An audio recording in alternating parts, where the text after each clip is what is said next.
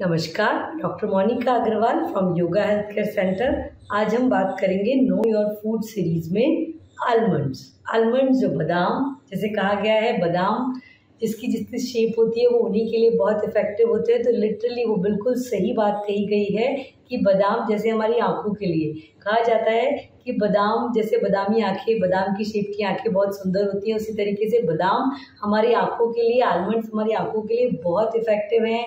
बच्चों को कुछ लोग बादाम का काजल बनाकर भी यूज़ करते हैं, बादाम को भिगाकर। और रेगुलर देने से बच्चों की आई हेल्थ के लिए ब्रेन हेल्थ के लिए बहुत इफ़ेक्टिव है।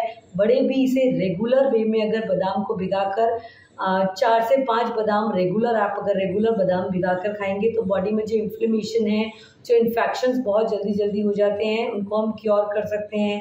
उनको बहुत जल्दी फीवर हो जाता है या बहुत इम्यूनिटी बहुत लो है। साथ ही साथ आइज़ के लिए स्टमक हेल्थ के लिए बहुत इफ़ेक्टिव है। तो और एक ही और मैं और पढ़ रही थी कि जैसे उसमें सी रिएक्टिव प्रोटीन जो बॉडी में इन्फ्लेमेशन को बताता है, हमारे लिवर का जो टेस्ट होता है, आजकल कोविड में बहुत कॉमन हो गया है सीआरपी का लेवल तो सीआरपी लेवल को भी कम करने में जो भीगे हुए आलमंड्स हैं, वो बहुत इफ़ेक्टिव हैं। तो आप उन्हें रेगुलर यूज़ कीजिए, कोशिश कीजिए, पाँच से सात बादाम रेगुलर लें। ये वाता को कम करते हैं, लेकिन थोड़ा सा इसकी हॉट पोटेंसी है तो पित्ता को एग्रीवेट करते हैं। तो आप इनको क्या कीजिए कि रात भर या तो सिक्स टू एट आवर्स भिगो कर नॉर्मल पानी में, कांच के बोल में भिगो कर फिर इस्तेमाल करें ताकि पित्ता को शांत करें। और एक और इंपॉर्टेंट चीज़, इसे हमेशा छील कर खाएँ। छील कर खाने से क्या होगा कि जो इसका जो जो छिलके के अंदर जो प्रोटीन होता है वो हमारे बॉडी में कुछ एब्जॉर्प्शन में कई बार बाधा डालता है। डाइजेस्टिव सिस्टम जिनका बहुत ज़्यादा वीक है, उन्हें कहा गया है कि वो छील कर ही बादाम खाएँ, छिलके सहित नहीं खाएँ। क्योंकि कुछ लोग छिलके सहित खा सकते हैं, लेकिन जिनका डाइजेस्टिव सिस्टम बहुत ज़्यादा वीक है, वो हमेशा उसे छील कर ही खाएँ। और कुछ लोग जैसे बादाम के लिए हम कहा जाता है, बच्चों की आइज़ के लिए सौंफ, बादाम और मिश्री।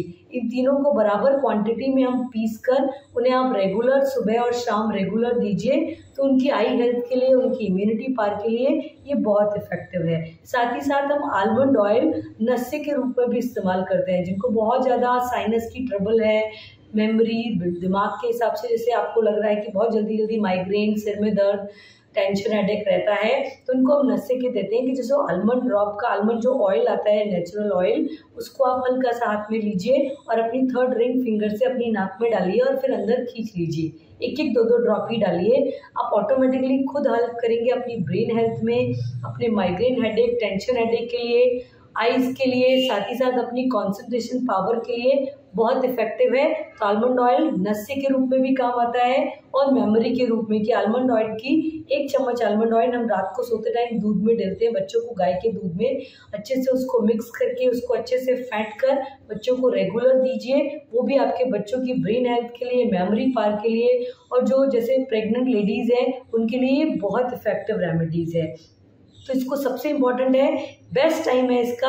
आप रात को भिगो के रखिए पाँच से सात बादाम एक कांच के बोल में और उसके बाद सुबह उसे छील कर खाली पेट खाएँ। द फ़र्स्ट मील जब आप ब्रेकफास्ट दे रहे हैं तो उससे पहले ही सोक्ड आलमंड्स अपने पाँच से सात छील कर अच्छे से उसे चबा चबा के खाइए। फिर जो भी आप मील अपना ब्रेकफास्ट ले रहे हैं वो आप उसे कंटिन्यू कर सकते हैं। ये बहुत इफ़ेक्टिव है, लेकिन पाँच से सात बादाम खाएँ। हाँ और कुछ लोग रोस्ट करके खाते हैं। तो मैं यही कहूँगी कि रोस्ट करके, जैसे आप जो घी में रोस्ट करके खाते हैं तो वो प्रेग्नेंट लेडीज़ के लिए या पोस्ट डिलीवरी के लिए या बच्चों के लिए बहुत इफ़ेक्टिव है। लेकिन बड़े उस रूप में नहीं, उसे भिगा कर खाएँ तो वो ज़्यादा इफ़ेक्टिव रहेगा। Thank you